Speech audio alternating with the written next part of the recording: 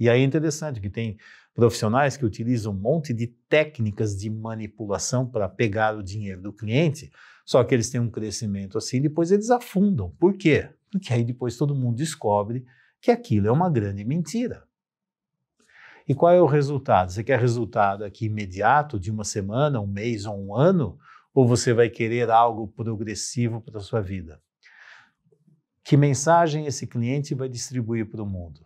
E qual é o nível de satisfação que ele vai ter quando ele sentir que foi enganado por você, foi abusado, porque essa é uma outra dinâmica de abuso da função. Eu não posso abusar da minha função. Eu estou no papel de superioridade na função, mas o meu objetivo é ajudar você a crescer e se libertar para a vida. Cresce, avança e segue em frente. E faça um bom trabalho.